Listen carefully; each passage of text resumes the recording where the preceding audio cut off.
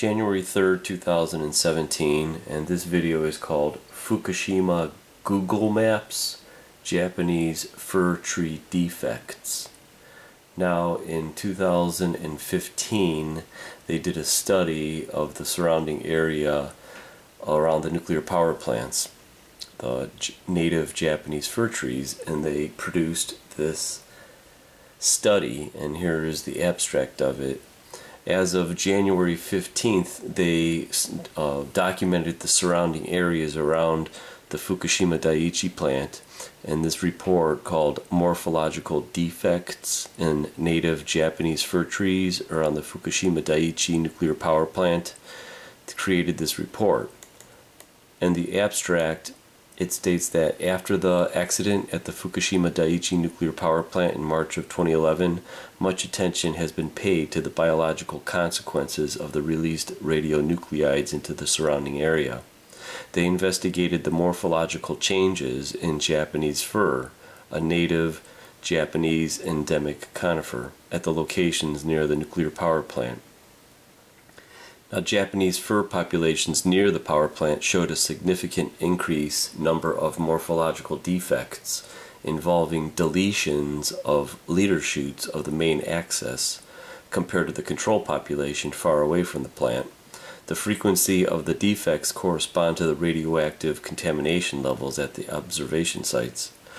A significant increase in deletions of the leader shoots became apparent in those that were elongated after the spring of 2012, a year after the accident.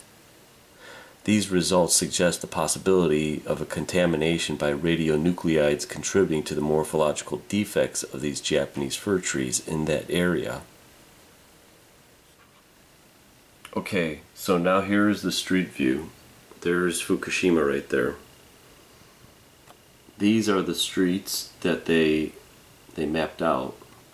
And first of all, I want to give a heads up to whoever rode those cars around these streets right across from the meltdowns, which is unbelievable. You couldn't pay me enough to uh, do that job, so I give them a heads up. Maybe it was those uh, um, Google cars that don't have uh, drivers in them. I hope so. I thought I was going to cruise around the city and try to find these double mutated dandelions that they were talking about. So here's some daylilies I found actually. See the daylilies right there? But you can't get that close. But when I was looking at the daylilies, this is what I've noticed. Now the street view, you can go back dates for some reason they only have July of 2013 they cruised past here and then 2015 so this is what I noticed. I was looking in here and look in this area right over here. This is the tree that I discovered. Now I'm pretty sure these are the fir trees that they were talking about. So check this out. So there is the view there 2013. And notice the tree to the left. So now you go to 2015 and the tree is dead right here. But here is the fir defect. See it up in the tree here? The central leader is missing. That's what I noticed. I caught that right away. So I am going to give you a close-up now. 2013 July. See the tree? Now watch it in 2015. See how it's gone?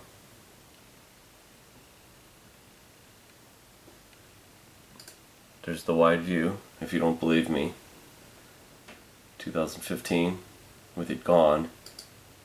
And there's 2013 when they look so healthy and green. Look at this tree over here. Now this is in July. It's not autumn. The leaves aren't changing. This is dying off right in here. And within two years, That tree is dead. And here is the central leader gone. They grow laterally. Now a plant is very complicated, almost just as complicated as humans. And for some reason, that little tip in there that is supposed to be like these guys. See how they're this one right here is standing straight up, and this one right in here. Um, that radiation is damaging these uh, live organisms. And even if you look at in here, look at how uh, the stuff is dying off. Look how green it is. And then you have the die off right there. So now this is just one tree, actually one street that I, this is the first street I walked in. I thought I was going to walk around town and try to find those mutant dandelions, but the first street I found the defected Japanese fir. Now, if you guys don't believe that this stuff is affecting humans, you guys are nuts. Now I could see why they evacuated the uh, city at this place. Now if you walk around town it's abandoned.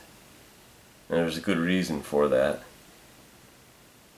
But this is just one little uh, defect that I found and I wanted to put the video out before I kind of search for more stuff. So I would say, hey, cruise around town.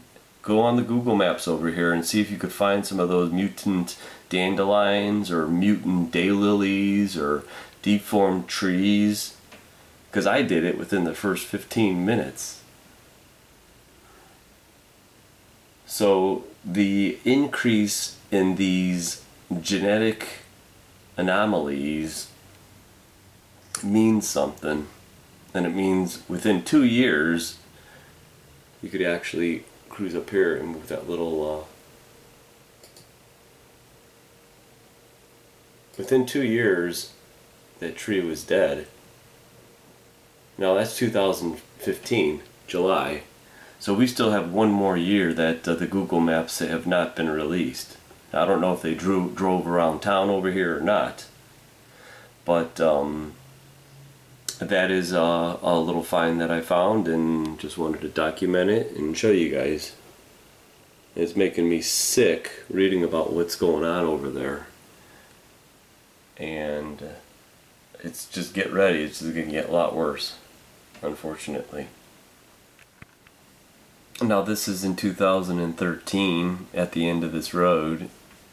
I just want you to show look how healthy this tree is it's probably I'd say about like at least a 25 30 year old tree 2013 and then let's go to 2015 put a gate up over there and it's dying. It's probably dead right now. Mm, just sad. I see this world falling apart so fast as it is. All because of nuclear power. Look at as a matter of fact I did find the guy driving the Google car and it is a guy See him right there?